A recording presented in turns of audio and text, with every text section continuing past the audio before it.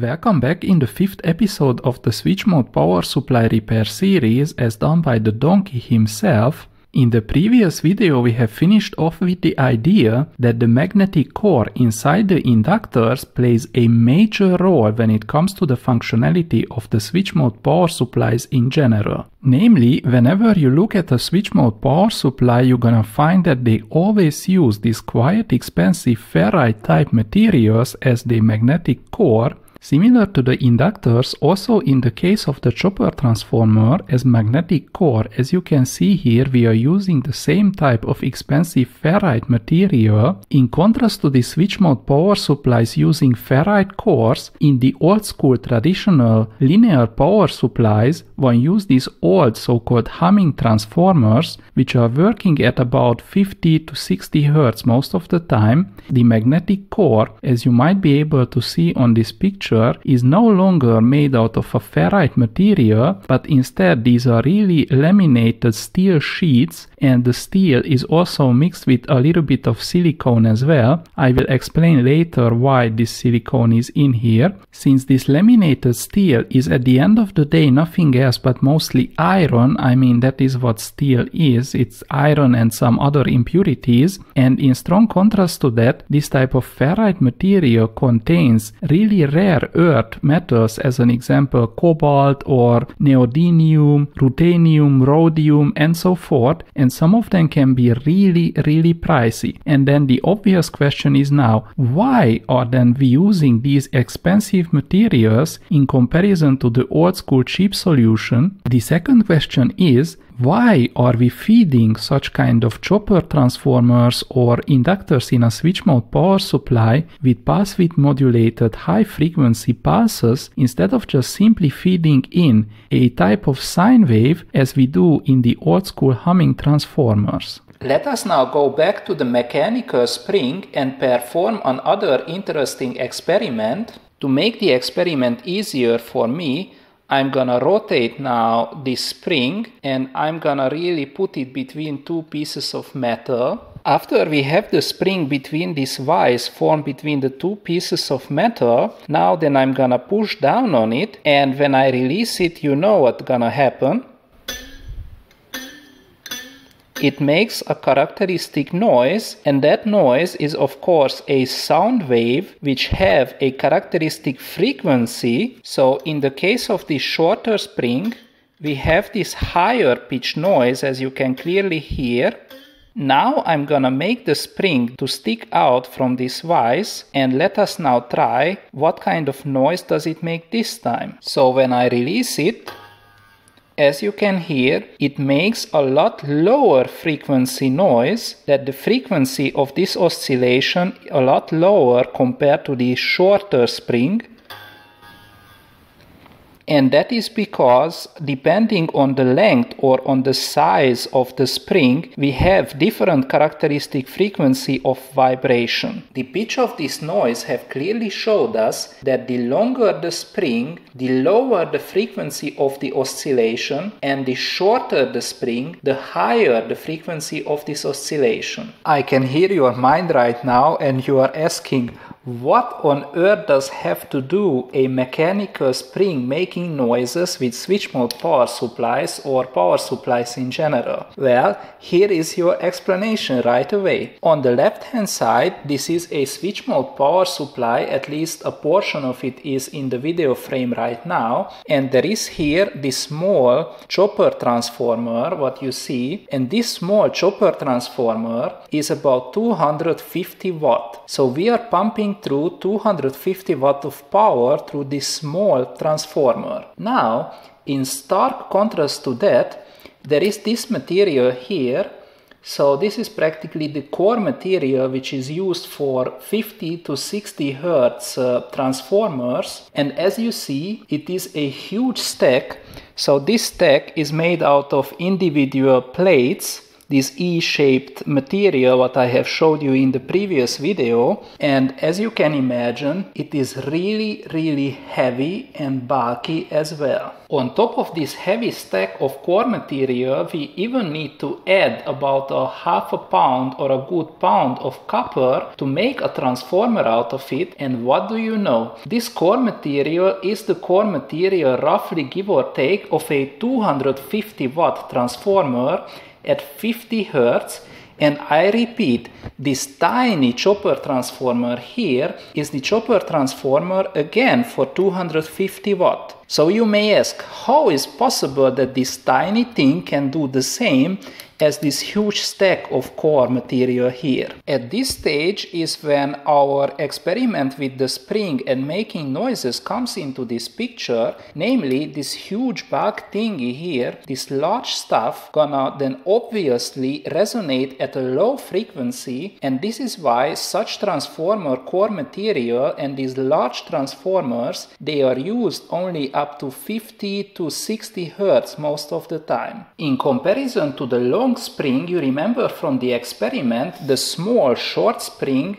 have been oscillating at a lot higher characteristic frequency. And that is exactly what we are doing in the case of a switch mode power supply. We are pumping in energy at a very, very high frequency compared to the traditional 50 or 60 Hertz transformer core material. So here we pump in energy at about 50,000 Hertz instead of just 50 Hertz like this one. And this is how we can then pump come through the same amount of watt or electronic energy at the end of the day through this tiny small transformer compared to this huge heavy bulky transformer in the right hand side. To make the following discussion a lot more clear, I think it is a good idea to actually discuss what is the AC sine wave which is normally present at your connector when you plug in a device let us come back to this experiment and explain what is really happening. So at the beginning, this spring here is not being deformed at all. So when it is at this position, then we can consider it that it is at position zero. Now then I'm gonna press down on it. So I decrease the position of the spring as you can clearly see. And when I release it, then it will swing through. It will come back again to the zero position. Then then since there is still energy left, it will actually go above the zero position, then it will swing down again through the zero negative again, go up to zero and high to positive again. If we would represent the actual oscillation of this mechanical spring as a function of time, what we would see as I described to you is that at the beginning we start at zero, then when I press it down, of course the spring goes down as time goes forward. When I release it, then the spring bounces up, it goes again through the zero, it swings through, it goes into a positive value and then this oscillation repeats over and over again. At the end of the day, this is nothing else but a kind of sine wave and that is because this is a sinusoidal function and this is exactly the shape of the voltage what you get in your AC plug. We can clearly notice that after a while the same shape just repeats itself so behind this red line the same thing is just simply repeated and the whole thing is as uh, Whitney Houston will sing about is just shifted with one moment in time. This moment in time, what is called a time period or the period of the sinusoidal oscillation in this case, and this period is what we call a given frequency in hertz. So as an example, the AC frequency in Europe is oscillating 50 times. In the US, it's doing this type of oscillation 60 times per second. You may of course think that wait a minute, there has to be some sort of catch. I mean, we cannot just make this transformer a lot smaller and we solve all the problems what we have compared to the heavy traditional transformer. And of course, as usual, there is always a catch, there is always a trade off. That let me remind you, in the case of the power grid, we have either 50 or 60 hertz AC sine wave coming to us, and when we have only 50 hertz, hertz, we cannot just pump it into a tiny transformer like this one, since this one we can feed only with 50,000 hertz. So it means that in the case of the switch mode power supply, first of all we need to generate this 50,000 hertz and feed it into the transformer and all the electronics what it is doing is actually preparing this kind of 50 or let's say several kilohertz of oscillation which we then feed into the transformer. In comparison to the small transformer, in the case of the big one, we know that the bigger, the lower the characteristic frequency of oscillation, so it means that we can directly feed in this 50 or 60 hertz sine wave directly in the primary of such a transformer. We don't need such a complicated circuit what we have in the case of the switch mode power supply. Another catch is then related to the core material itself as magnetic material, so this material material here is made out of steel at the end of the day with a little bit of silicone in it which modifies the magnetic properties of the core and now in strong contrast because the steel is quite cheap in the case of the switch mode power supply the magnetic core have to be made from a special magnetic material as I will show you in the following experiments. Let us perform another experiment where we are looking at the magnetic material properties of different type of cores inside the inductor. This one here is this special type of material which is used normally for high frequency applications. When I come close with this material here to this ferromagnetic screw, nothing happens because this thing here, what I'm holding between my fingers, this core, is not yet magnetized. So now what I'm gonna do is I'm gonna come in with this strong magnet. This magnetic core gonna be then charged magnetically so it will become magnetized and when I remove now this magnet at that very moment, the magnetic core gonna drop the screw, so it gonna be instantaneously demagnetized. Now we're gonna repeat the same experiment, however this time I'm gonna use a screwdriver which is made out of steel and as you know, steel is used actually as a magnetic core inside the low frequency 50 to 60 Hz transformers and inductors and such. Again, I'm gonna come in with the magnet just as previously. The screwdriver have instantaneously grabbed the screw and that is because the steel material got magnetized through this strong magnet and now let us see what happens when I'm gonna pry off somehow this strong magnet from this thing.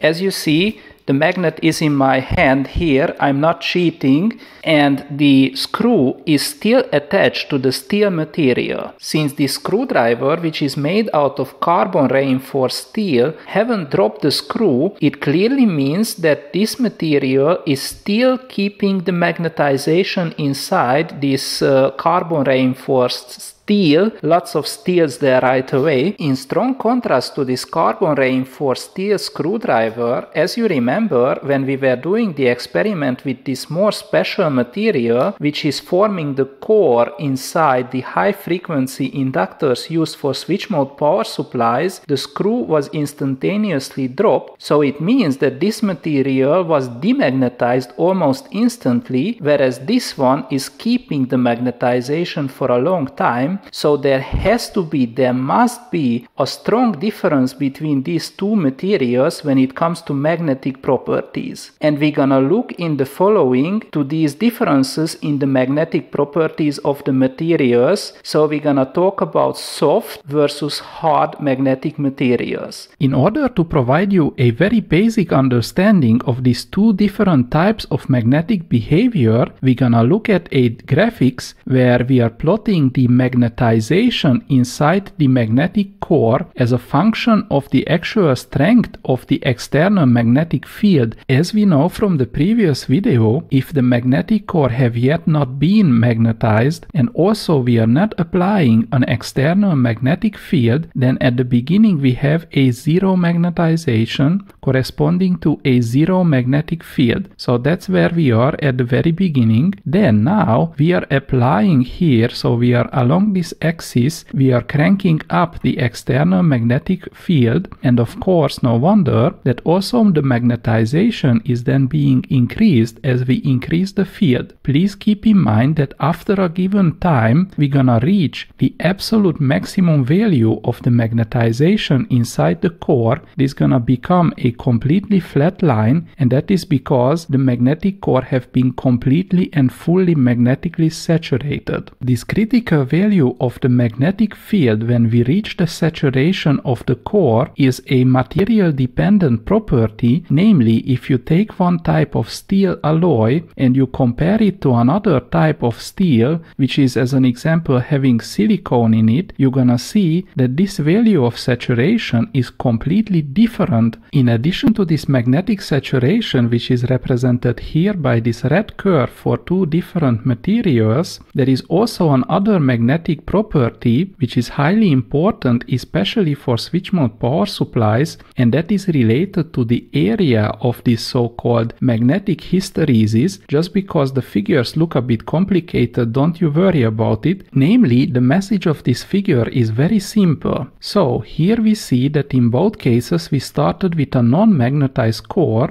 and then we put both cores to full magnetic saturation. Okay, you have now this picture in your mind and now you should just simply remember the two different outcomes with the two different type of cores. So when we had this more special type of high frequency core, so here remember we were magnetically saturating the core with the external magnetic field, then I remove the magnet and automatically here this magnetization have dropped down and it completely collapsed. This field here, the so-called demagnetization field is very very small in the case of these special type of high frequency materials and that is why they are called soft magnetic materials in strong contrast to the special material when we had simple steel even when we remove the magnet the material still stayed magnetized and that is because here this demagnetization field is so large that the material cannot just spontaneously demagnetize. So once we magnetize it there will be always some form of magnetization left.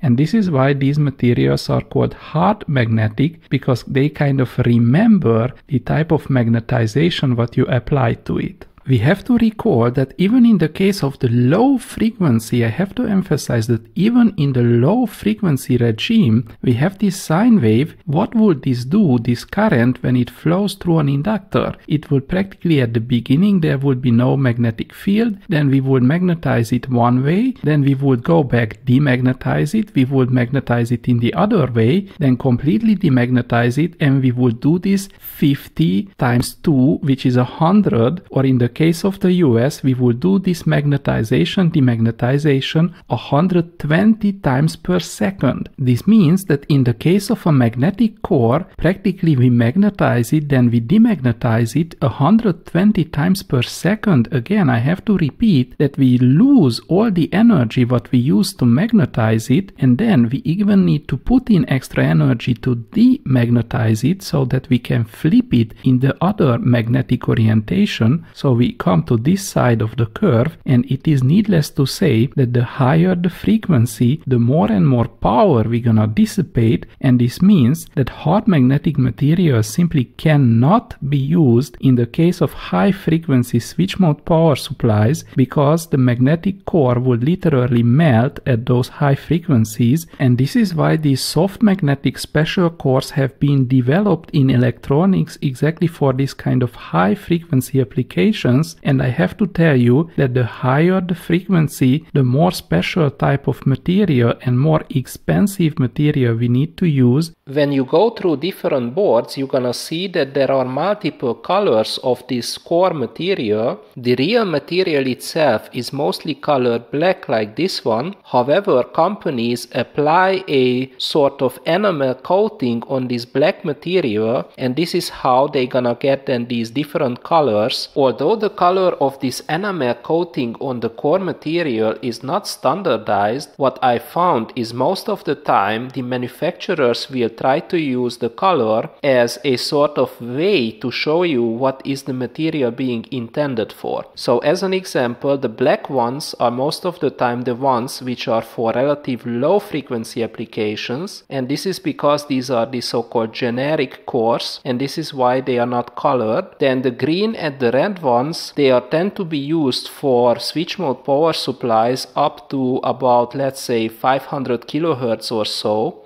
The yellow ones and especially the gray ones they are used also in switch mode power supplies but above a megahertz up to about 5 megahertz or so or also for radio frequency applications. And the purple one, and especially the blue and the purple, those are the ones which are used for really high frequency applications. Since all these high frequency cores tend to be quite expensive and they are really not easy to come by as a private person, I can tell you it's worth it to desolder them from old boards because whenever you build your own power supplies, you're gonna actually reuse these and you're gonna make make then your own coil. In this episode we have went through the magnetic core material and also we have understood why do we need to apply a high frequency pulse width modulated signal to feed the actual core at high frequency and that is because this way we can use a small core crystal clearly the smaller the size of the inductor or of the transformer itself the smaller and more lightweight the whole switch mode power supply will be. Also